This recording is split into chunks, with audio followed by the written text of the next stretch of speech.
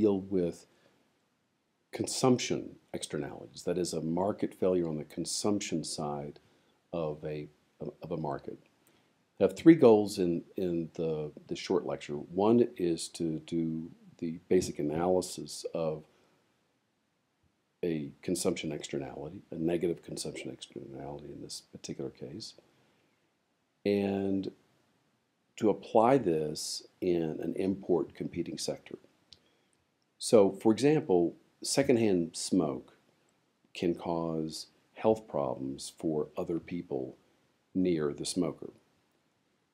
Imports might, might also occur in the cigarette market so that we have a domestic consumption externality in an imported product.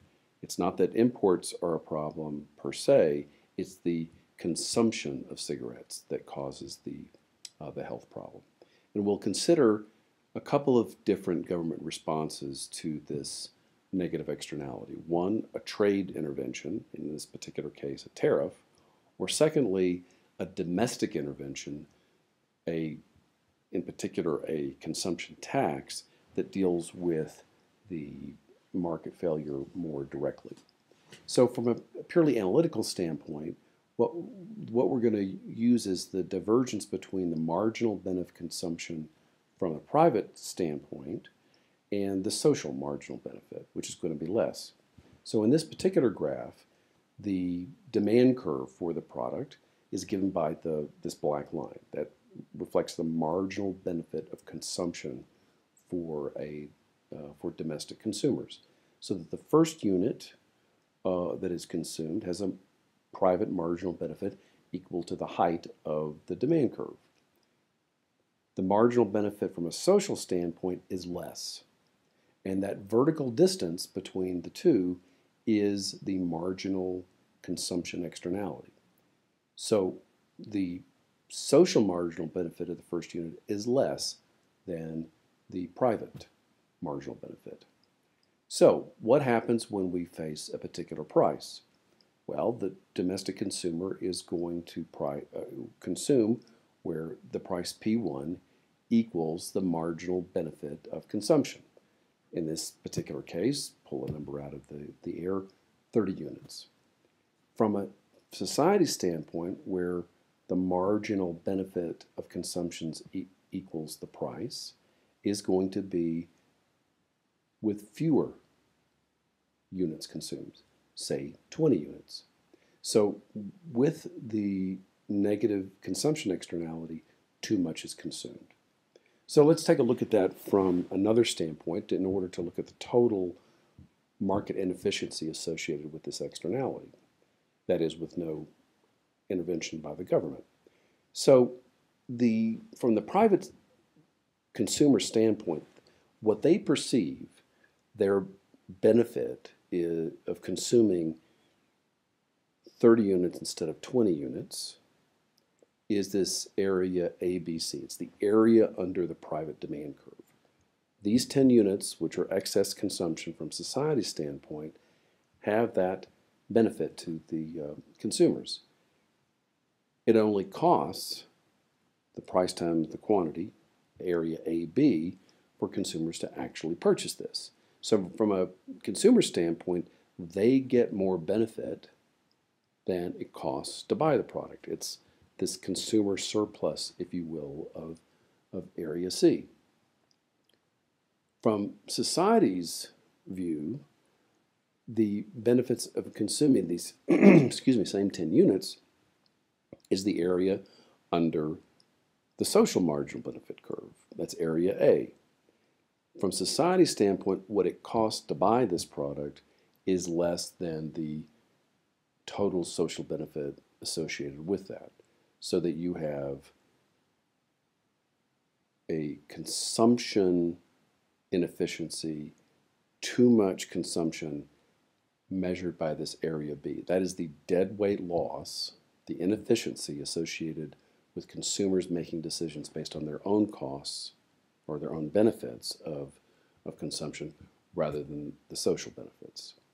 So if we take this into the import market of a small country, we will depict it this way. Marginal benefit of private consumption, again, exceeds the marginal social benefit. From society's standpoint, Q3 is the optimal. Q2 is what consumers decide to buy. The cost of importing this excess amount of consumption from foreigners is AB.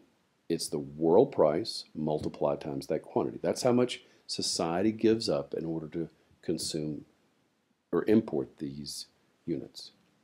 The social benefit, the area under the social demand curve, area A, so that we have a market inefficiency of B. In this particular instance, imports ought to be Q1 to Q3.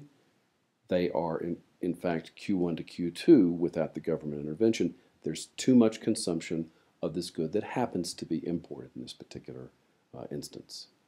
So, if the government knows what this externality actually is, how much it is, and can then pick a tariff equal to that marginal externality effect, the price could be raised to PW plus T.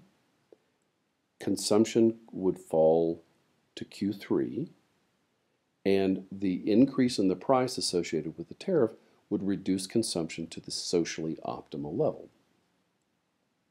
You, in other words, you eliminate the market inefficiency by a properly chosen tariff. The problem is that the increase in the price in the domestic market also encourages more domestic production. Domestic producers see this higher price because of the restricted imports decide to produce Q4 instead of Q1. These extra units produced domestically cost society the area under the supply curve, that's G plus H. The cost of importing that same amount was H. So that what you have is a cost of inefficient domestic production equal to G. So here's the dilemma. We've raised the prices through the tariff. We've gotten the right amount of domestic consumption and essentially gained back, if you will, area B.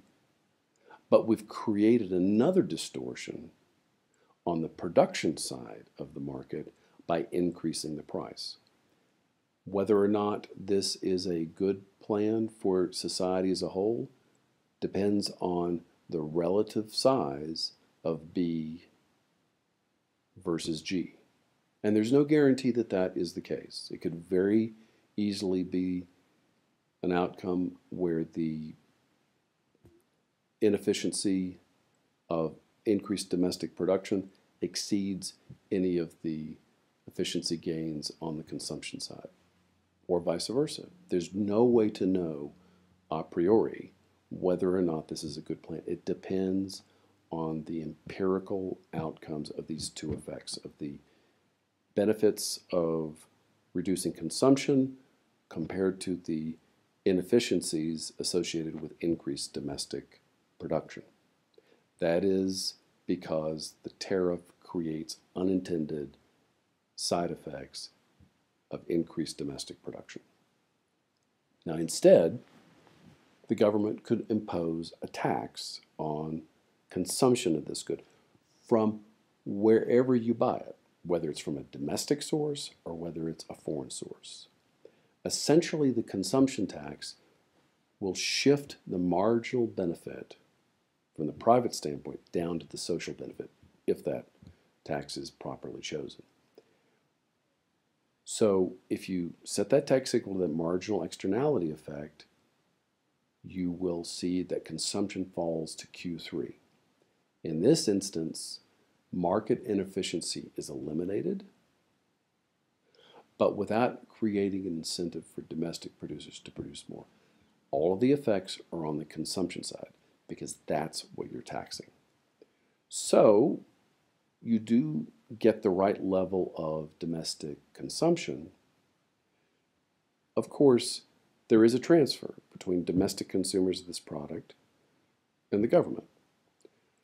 But the standard approach that we've been taking is to assume that a transfer has no effect on national welfare. So, yes, indeed, there are tax revenues raised. That has no national welfare effects. But what you do see is reduced consumption of this good that creates these other problems. But no rise in the domestic production as with the uh, tariff. So, applying this in practice is sometimes difficult. And it really has to do with knowing the, the original externalities, the original uh, effects of this policy. Knowing the level of the original social costs rather than benefits, as it says here, is key.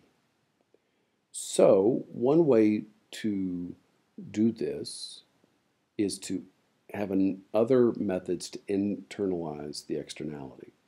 So that in this example, if consumers are become aware of and react to the negative external effects of cigarette consumption, that can reduce the consumption by consumers' own behavior if there's sufficient information about these social costs.